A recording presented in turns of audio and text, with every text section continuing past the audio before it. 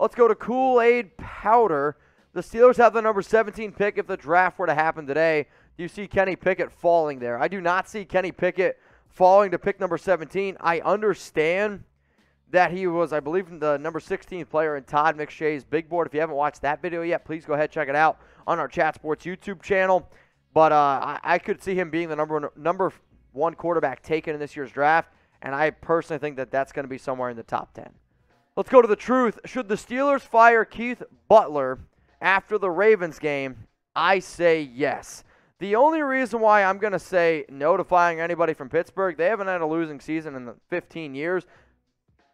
But Jeremy, who's weighing in, says that's the DC of Pittsburgh. But I, I personally don't think that you should. The defense has not been the issue. It's been the offense. I mean, think about it.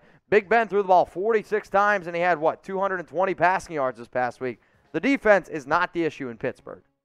Let's go to Evan Hinders. Do you think TJ Watt will break the sack record? I don't know if he's going to break it, but he's going to get pretty damn close. I mean, he needs literally one to tie, two to break it. I would say yes, but also I know that not that they're not going to be playing hard. The Steelers and Ravens game, that does actually have some meaning. So if Pittsburgh wins, that's great. You know what? Let's get ballsy. Let's say TJ Watt is going to go ahead and he's going to break the record. Let's go to Evan Henders. I have a feeling Aaron Rodgers comes to Pittsburgh. Davante Adams comes with him, wins the Super Bowl with the Steelers. Well, Evan, I don't know you personally, but I'm going to take a guess that you're a Steelers fan. I know there's a lot of reports out there that Mike Tomlin wants to work with a veteran quarterback. If you can get Aaron Rodgers, if Aaron Rodgers and Davante Adams head on over to Pittsburgh, that is a absolutely a Super Bowl caliber team.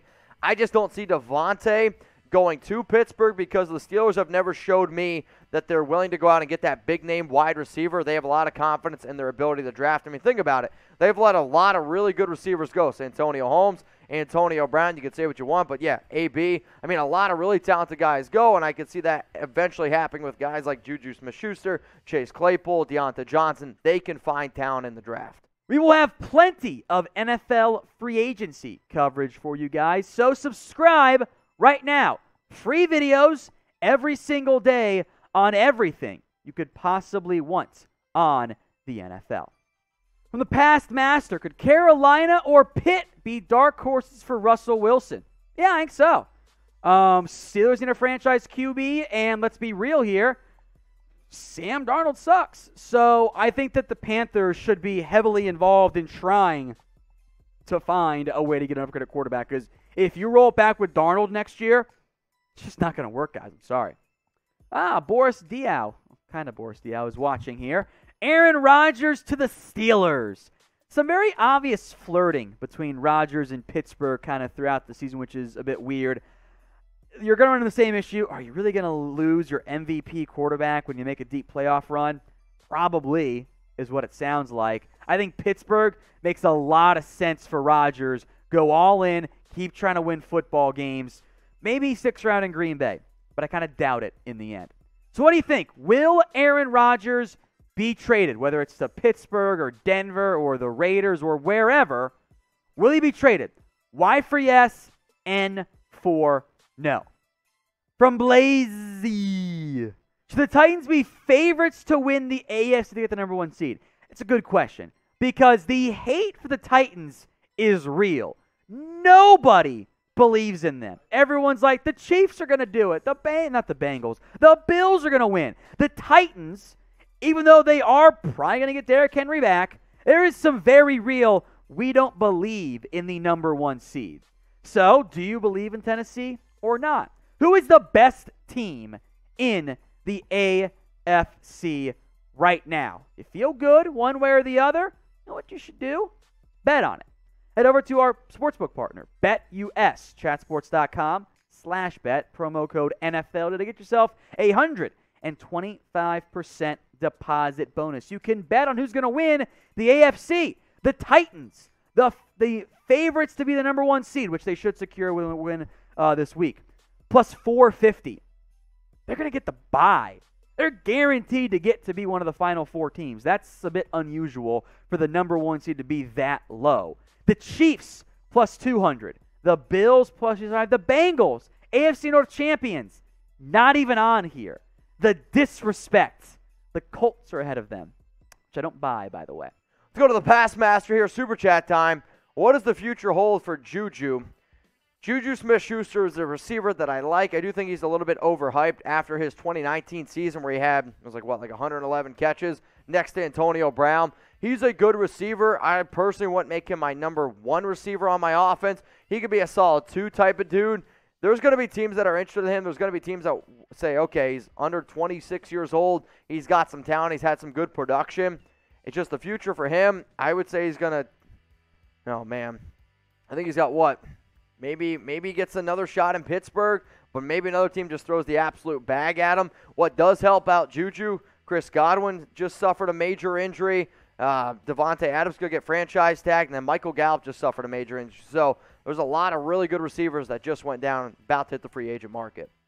All right, y'all, who should get the NFL MVP this season? I mean, I think it's Tom Brady, which is pretty pretty mind blowing. The fact that that man is 44 years old, and I really truly believe he's about to win the NFL MVP. Could it be Josh Allen, Dak Prescott, Joe Burrow might get a vote, Aaron Rodgers could win it again? Let me know, y'all, down in the comments who should get the NFL MVP. From Shadow, do you expect any upsets in the postseason?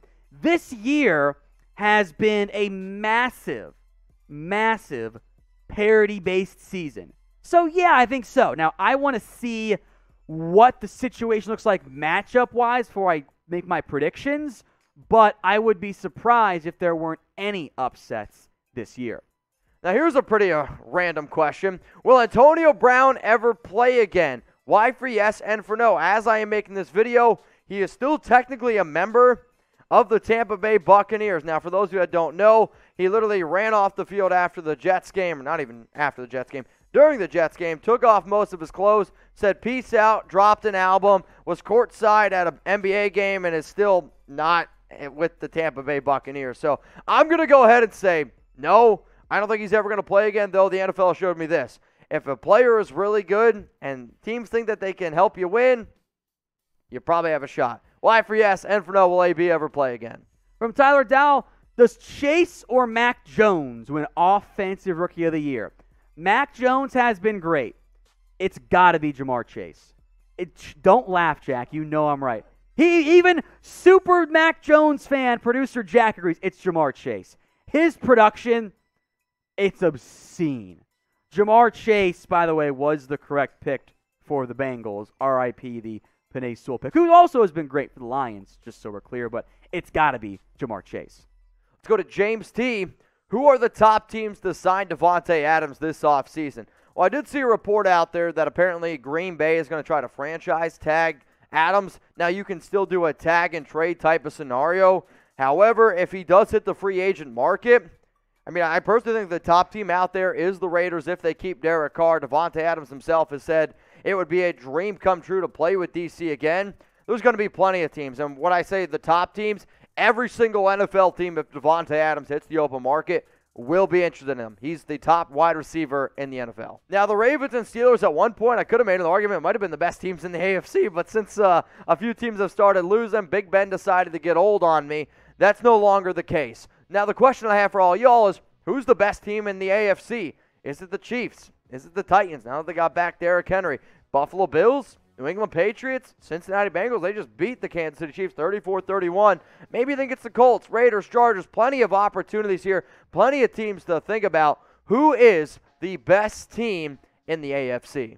Steven Crozio, which Week 18 primetime game shouldn't be primetime? The only one that should be is Raiders Chargers. That one should be a primetime game. Chiefs Broncos, Cowboys Eagles. I mean, I get why they did it to keep some semblance of balance, but I don't know if you needed those games in prime time. Those both could kind of end up being a bit of a snooze fest in the end. Now, if I don't get to your question, don't blame me. Blame Jeremy. Hit him up on Twitter at JI Beedling. Or you can always hit me up on Instagram. I'm at Mitchell Renz 365 Please don't be afraid to slide in my DMs. Always uh, not afraid to answer your questions. Beast Mode 11. Who do you believe is the NFL's best interior defensive lineman? I mean, this is Aaron Donald, and I don't even know if it's all that close. Aaron Donald, if you're telling me right now I could have any player on defense right now, it's Aaron Donald. He's the best defensive player in the league. His ability to create pressures, he's had, what, 51 straight games where he's had multiple QB pressures? I mean, it's just, the dude's insane. He's a monster.